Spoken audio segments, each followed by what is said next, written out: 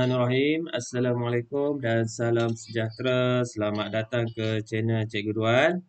Bagi yang pertama kali masuk ke channel Cikgu, jangan lupa like, share dan subscribe dan tekan butang loceng di bawah. So, untuk video kali ini, Cikgu ingin kongsikan bab 10 Kimia dalam Perubatan dan Kesihatan. Sains tingkatan 4 KSSM. Kredit kepada Cikgu Norazila dari SMK Ulu Tiram, Johor kerana sediakan slide ini. Kita pergi kepada subtopik yang pertama. 10.1 Perubatan tradisional, perubatan moden dan perubatan komplementari. Apa dia ni? Perubatan tradisional. Okey, kita pergi. Yang pertama, Perubatan tradisional ialah kaedah perubatan yang menggunakan tumbuh-tumbuhan, haiwan dan bahan semula jadi yang diaplikasikan secara khusus maupun gabungan bagi diagnosis dan merawat penyakit. Ha, okay. So yang ni macam apa? Perubatan orang apa orang tua dulu. Uh, dia guna herba, uh, tumbuh-tumbuhan. Lepas tu ada yang guna haiwan. Uh, uh, untuk apa dia? Merawat penyakit. Uh, ni adalah perubatan tradisional. So banyaklah herba-herba. Uh, Setiap kaum di Malaysia mengamalkan kaedah perubatan tradisional yang tersendiri. So ada Melayu dengan Melayunya, kalau Cinanya dengan ginsengnya, ha? So kita dengan tehnya. Ha, so banyak. Ciri-ciri perubatan tradisional. Ha, ni apa dia? Kos rawatan yang rendah. Rawatan menggunakan bahan semula jadi daripada tumbuhan dan haiwan. Keberkesanan rawatannya lebih perlahan dan memakan masa. Isi dan diamalkan turun-temurun pembuktian keberkesanan secara pengalaman. Ha, so orang kata daripada mulut ha, dari generasi ke generasi. Ha, kata ubat ni berkesan. Kata akar kayu ni kalau rebus minum ha, berkesan. Ha, tu ha, turun temurun ha, diwarisi. Perubatan moden. So perubatan ni yang sekarang ni lah Perubatan moden merujuk kepada campuran seni merawat dengan pelbagai bidang ilmu sains yang mempunyai hubungan langsung dengan sains kesihatan dan bioperubatan. Melibatkan bidang seperti perubatan klinikal, penyelidikan perubatan dan pembedahan dalam mengubati penyakit dan merawat kecederaan. So yang ni uh, dekat hospital lah. Uh, uh, bilik pembedahan. Uh, kalau nak merawat Lepas tu dia guna uh, rawatan laser untuk kanser. Uh, so yang ni yang modern punya. So kosnya mesti mahal lah. Compare dengan perubatan tradisional tadi. Okay ni ciri dia. Kos rawatan yang mahal. Ha, pembuktian keberkesanan secara klinikal. Rawatannya adalah lebih berkesan dan lebih cepat. Menggunakan kaedah modern seperti pembedahan rawatan laser uh, dan radioterapi rawatan menggunakan ubat sintetik. Uh, so ini adalah ciri-ciri perubatan sekarang. Uh, so kos memang mahal. Okay, kita pergi kepada perubatan komplementari. Perubatan komplementari secara praktisnya merujuk kepada kepelbagaian kaedah dalam penjagaan kesihatan yang berasal daripada pelbagai bentuk budaya sejak zaman berzaman. Ha, so banyak kaedah. Ha, banyak kaedah. So kalau kita tengok gambar ni pun dia guna kaedah apa ni? Ha, jarum ni aku panca. Ha, okay. Kaedah ini merangkumi dua bahagian iaitu produk semula jadi, uh, senaman badan dan minda. Kaedah ini boleh digunakan bersama rawatan moden bagi merawat sesuatu penyakit seperti rawatan kanser. Ha, ini ha, perubatan komplementari. Okay, ciri-ciri dia. Tidak melibatkan pembedahan dan jahitan terhadap tubuh badan. Ha, so yang ni aku panca dia ha, cucuk di titik-titik saja.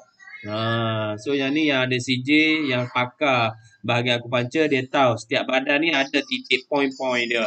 So dia akan cucuk jarum dekat situ. Mengambil kira pandangan pengamal perubatan moden dan tradisional, tidak menggunakan ubat-ubatan, teraputik, dada dan bahan sintetik kimia. Ha, okay, dia tak guna ubat. Apa dia teraputik ni? Perkhususan melibatkan pengetahuan dan kemahiran dalam mengendali dan menyelenggara alat instrumen mesin perkakasan. Ha, so yang ni lah. Uh, dia tak guna ubat. Ha, dia, yang ni guna alat je. Apa dia? guna jarum, ha, senaman, ha, macam tu. Ha, yoga dan sebagainya. Ha, ini ciri-ciri perubatan komplementari. Ubat-ubatan yang digunakan dalam perubatan tradisional dan komplementari. Ubat ialah dadah atau bahan yang diambil untuk mengawal kesihatan, merawat atau mencegah penyakit. Okay, ubat yang kita ambil tu. Ubat dan rawatan ini perlulah didapatkan daripada pihak-pihak yang bertauliah. Ha? Kita tak boleh sesuka hati ambil beli ubat lepas tu uh, masukkan ke dalam badan. No. Ha, kita ambil ubat, telan ubat, makan ubat berdasarkan nasihat doktor. Ha, ataupun pakar perubatan. Ubat tradisional pula. Ubat yang diperoleh daripada sumber semula jadi seperti tumbuhan dan haiwan tanpa diproses secara kimia. Okay, contoh uh, daripada bunga, daripada daun, uh, kita tumbuk-tumbuk ataupun kita rebus, lepas tu kita minum. Uh, okay. Ubat ini dinamakan, diamalkan sejak zaman dahulu kala. So, nenek moyang kita dah guna dah ni sebelum adanya hospital, ha, sebelum ada ubat sintetik. Ha, ni contoh ha, herba apa dia? Aloe vera. Ha, kita ada kat rumah ni. Lidah buaya, lendiran daripada daunnya disapu pada kulit untuk mengurangkan kesakitan kulit akibat sunburn ataupun terkena benda panas. Ha, bagus ni. Yang kedua, ginseng. Herba yang popular digunakan dalam perubatan tradisional kaum Cina untuk memelihara kesihatan badan. Alia, melegakan bengkok dan sengal pada badan serta menghilangkan angin dalam badan. Ha, ni, antara contoh herba ha, yang sesuai kalau kita apa tanam dekat rumah kita. Banyak kelebihan dia. Pokok bunga raya. Daunnya melegakan sakit kepala dan merawat masalah keguguran rambut. Ha, daun dia ni. Okey. Seterusnya quinina. Ha, quini. Ha, kulit pokok cinchona sp digunakan untuk membuat ubat penyakit malaria. Ha, so uh, apa dia malaria tu? Yang demam tu. Ha, yang daripada apa gigitan nyamuk piruk tu. Okey, so kita guna kulit ni sebagai ubat dia. Ubat moden pula, ubat yang dihasilkan di dalam makmal untuk kegunaan ramai dan dijual di pasaran secara meluas. Disediakan dalam pelbagai bentuk seperti pil, kapsul, pasta, ampayan dan larutan. Bergantung pada penggunaannya, ubat moden ini dikelaskan kepada tiga jenis. Analgesic, antibiotik, psikoterapeutik. Okay, kita tengok yang pertama. Apa dia analgesik? Analgesik ialah ubat ini berfungsi untuk melegakan kesakitan. Okay, contoh analgesik seperti aspirin, paracetamol dan kodina. Ha, so, biasanya kita selalu dengar paracetamol. Demam ke, sakit kepala ke, ha, So, doktor akan bagi apa dia? Paracetamol. Untuk apa? Lega kesakitan. Okey, tolong ingat ah. Ha? Analgesic ingat. Aspirin ingat paracetamol. Yang kedua, antibiotik. Ubat ini berfungsi untuk membunuh atau menghalang pertumbuhan bakteria penyakit. Uh, ubat ini dihasilkan daripada kumpulan mikroorganisma seperti fungus atau bakteria yang boleh melawan bakteria sebagai penyebab penyakit. Ubat ini boleh dihasilkan melalui sintesis bahan kimia. Perlu dihabiskan mengikut dos yang diberikan untuk memastikan bakteria dihapuskan. Contoh, penicillin, streptomycin. Uh, so yang ni doktor akan bagi biasanya kalau demam ke apa doktor akan tanya uh, demam dah berapa hari macam tu. Sakit dah berapa hari kalau lebih daripada 2 atau 3 hari doktor akan bagi antibiotik. Uh, so antibiotik ni memang kena wajib bagi habis. Uh, barulah betul-betul uh, bakteria dalam badan kita betul-betul dimusnahkan ataupun dibunuh. Uh, kalau tak, kita akan demam balik. Uh, so, contoh antibiotik apa dia? Penicillin, streptomycin. Uh, tolong ingat, antibiotik, penicillin. Yang ketiga, psikoteraputik. Digunakan untuk rawat penyakit psikiatrik. Uh, okay, gangguan ni, jiwa.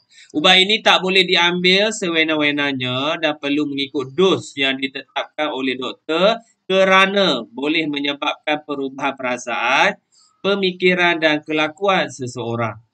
Ubat ini boleh dikelaskan kepada tiga jenis. Yang pertama, stimulan. Merangsang dan mengaktifkan kegiatan otak, badan dan perasaan pesakit. Contoh, amfetamin. Ha, stimulan ni amfetamin. Yang kedua, antidepresan. Ubat ini berfungsi untuk kawal keadaan kemurungan. Ha, duk dia murung kan. Masalah gangguan kan. Contoh, imipramim dan amitriptilin. Oh, nama dia.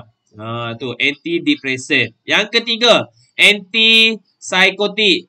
Iaitu ubat penenang. Contoh, tranquilizer, barbiturat, dozapin dan haloperidol. So, biasanya uh, yang kita selalu dengar apa dia? Barbiturat. Ni barbiturat. Ha, Okey, untuk bagi tenang. So, ini adalah ubat jenis yang ketiga, psikoteraputik untuk rawat pesakit psikiatrik. Perubatan komplementari tidak hanya memfokuskan usaha merawat penyakit sahaja, tetapi memastikan pesakit sihat secara holistik merangkumi fizikal, mental dan emosi. Perubatan komplementari juga ialah rawatan tambahan yang dilakukan bersama dengan perubatan moden dalam merawat penyakit. Okay. Okay, contoh dia apa dia? Aku panca. Jarum steri dimasukkan ke dalam titik tertentu pada kulit yang disebut titik aku panca. Dan kemudian dimasukkan secara perlahan dan lembut. Hal ini dapat merangsang sistem saraf untuk melegakan kesakitan. Ha, ni. Ha, aku panca. Siapa yang apa takut jarum tak boleh lah. Okey, kiropraktik. Ha, kiropraktik apa dia?